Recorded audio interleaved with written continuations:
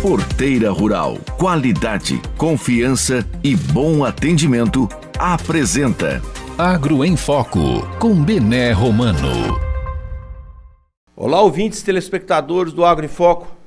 Um dos temas mais discutidos nas últimas semanas e que ganhou espaço na imprensa foi a reforma tributária e quais serão seus impactos na vida do brasileiro.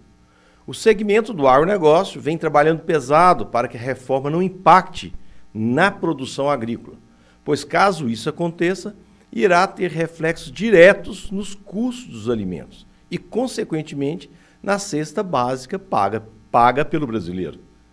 A senadora e ex-ministra da Agricultura, Tereza Cristina, avalia que o agronegócio foi atendido na maioria dos pontos referentes à proposta de reforma tributária mas ainda há alguns detalhes a serem ajustados.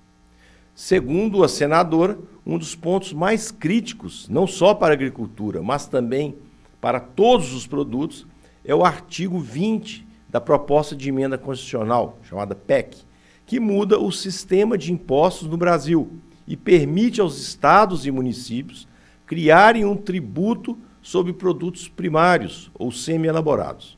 Conforme Tereza Cristina, abre aspas, o trabalho pesado ficou para o Senado, fecha aspas, e que parlamentares trabalham para apresentar emendas ao texto aprovado na Câmara.